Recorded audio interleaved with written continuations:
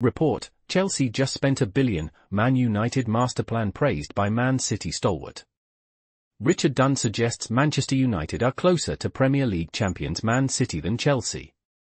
He praises Sir Jim Ratcliffe's gradual improvements at Man United, contrasting it with Chelsea's £1 billion spending spree under Todd Boehly. Dunne believes Chelsea's strategy is less effective and warns against expecting immediate success from new ownership. He also comments on Newcastle's gradual progress under new ownership. Please subscribe to my channel.